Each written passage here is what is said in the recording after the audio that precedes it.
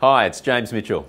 Here's another video on Workshop Software. I really hope you get some great value from it and you enjoy it. All the best.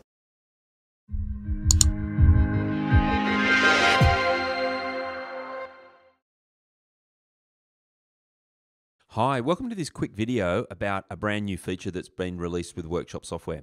Really excited to deliver this cool new feature for you.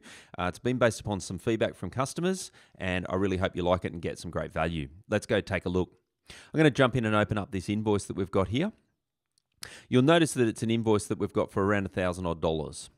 This new feature allows us to give a discount off this invoice. If I click on this button here, it allows me to add a discount.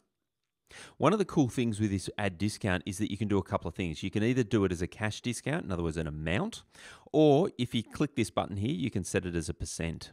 So either way, you can set it as a an amount or as a percent, which is uh, a really good uh, way of being able to do things. So in this instance, if I'm going to put in, say, $38.39, uh, take that off the invoice. Let's say you've said to the particular customer, hey, let's just do it for $1,000. How's that sound to you? You can go, yeah, cool, going to make it $1,000, and it puts that $1,000 off that invoice.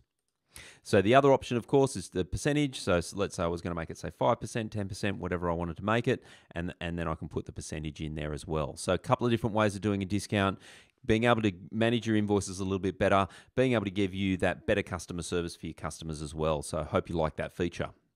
Just while we're on the subject, which is slightly, uh, you know, similar to what we're trying to achieve here, is it's good to know that in the customers that there is a discount percentage for a specific customer as well. So if you wanted to have a, a, a discount or even a markup set for a specific customer, you can do that too. So just so that you're aware that that functionality is available. But of course, this is really the, the, what what we're showing you here today is that ad hoc you know just being able to put specific discount on one invoice for one customer you know put in that $38.39 for example and make it $1000 you can very quickly and easily do that save the invoice and away you go.